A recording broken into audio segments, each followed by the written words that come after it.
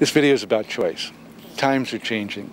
Not too many years ago, persons with developmental disabilities had very few choices. For many, their only choice of a place to live was a large state institution.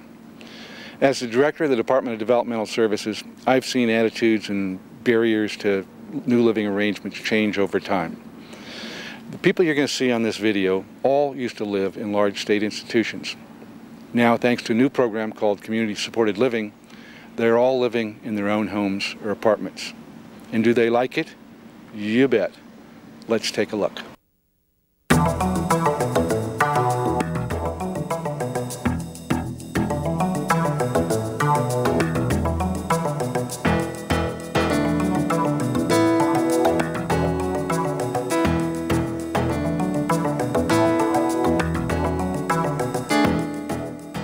Being in a state, state hospital, there were some good points about it and, and some bad points. I learned a lot, you know, about taking care of myself from there, you know. When I was younger, I used to, I, I used to, uh, uh, wonder why I was there, you know, and uh, uh, my, and and I wanted very much to get out of there. To make a long story short, I was talking to a good friend of mine who convinced me that it would be it, would, it would be better, I'd uh, be a whole lot happier off, you know, uh, you know, being on my own. And uh, so I said, okay. Uh, and so here I am. And uh, so uh, we I, we moved. I moved he in here in this apartment uh, July 15th, 1991, uh, and it'll be two years tomorrow. Which which I've been living living on, on my own. So uh, anyway. I've had, and it's been, and it's been, I've had a lot of success.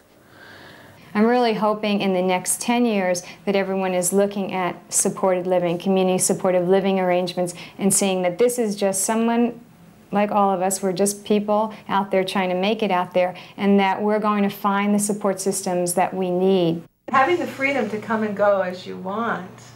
Um, I like that. that like? I like. I like that. I like that because we can go out do what we want to. We're on our own now. Yeah. We don't have to let staff know where we're going. Yeah. Just so we have the emergency pager number with us and all and that.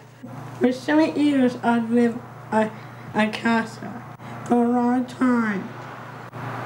And I'd like to move out independent living. And over here, I do more stuff for myself now. And I got a long ways from living here with a roommate for two years already. And I've come a long ways. When I first came here, I had to have help. But now I do everything myself.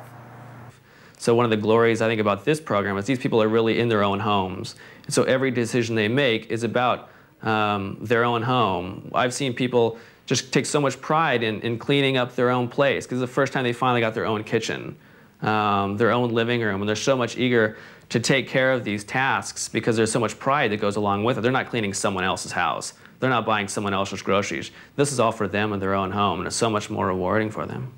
I'm one of these people who really believes anybody can succeed with with the life they choose, as long as they receive the right amount of support. And some people need a lot. I mean, they need a huge network, and some people need a little.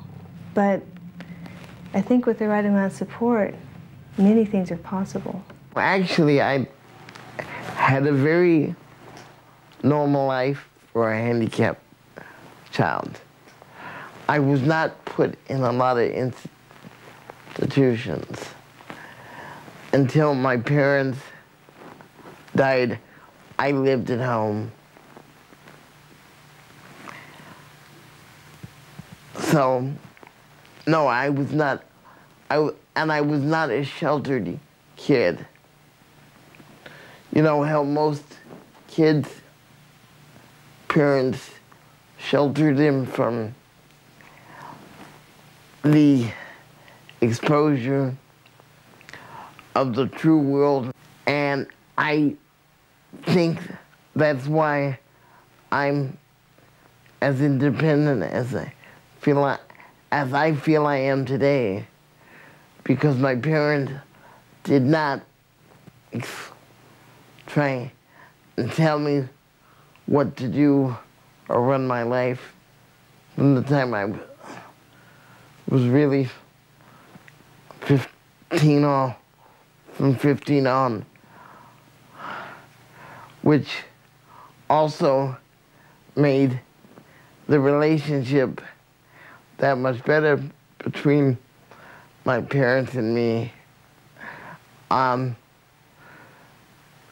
as we were as we were growing up in later years, they would give me advice, but once I once I hit 21, I was basically anything I wanted to do, they really didn't question which I find in a lot in a lot of my handicapped friends, they still get questioned. They still don't have the freedom that I feel I had growing up as a child. Overall, if I had to do it over, I would probably still do some kind of independent living thing. You know my big hobbies? What? Parties. Parties are your hobbies? What kind And of parties? dancing too. You like to dance? Yeah, I'm going to the Blue Society dance. We're going to be going this Saturday. Yeah.